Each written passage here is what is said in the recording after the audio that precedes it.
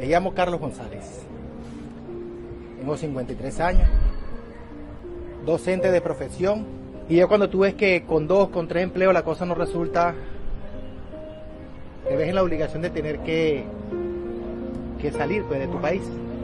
Me ha tocado trabajar de vendiendo comida en la calle, vendiendo café, vendiendo chocolate, vendiendo pancitos. Me ha tocado trabajar paseando perros.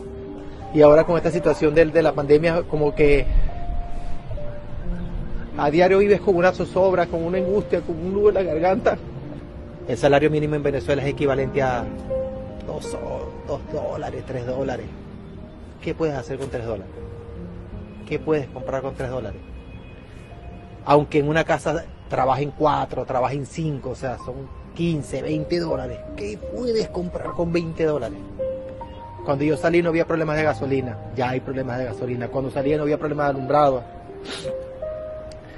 Y ahorita Venezuela vive en un socialismo sin electricidad, sin tecnología, sin internet, sin educación,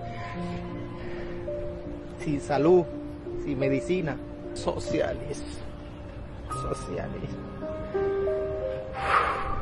Socialismo. Socialismo es esto que estoy viviendo. Este. Socialismo es esto. Familia separada. Socialismo es ver cómo tu país cada vez viene bajando y se viene destruyendo y, y las posibilidades de, de regresar cada vez son más difíciles. Si cualquier país del mundo quiere un país socialista, que se lleve a Maduro. O sea, socialismo es un gobierno como el de Chávez, como el de Maduro. Socialismo es pobreza, destrucción, retraso, y pérdida de tu familia, ¿sabes? Eso es socialismo.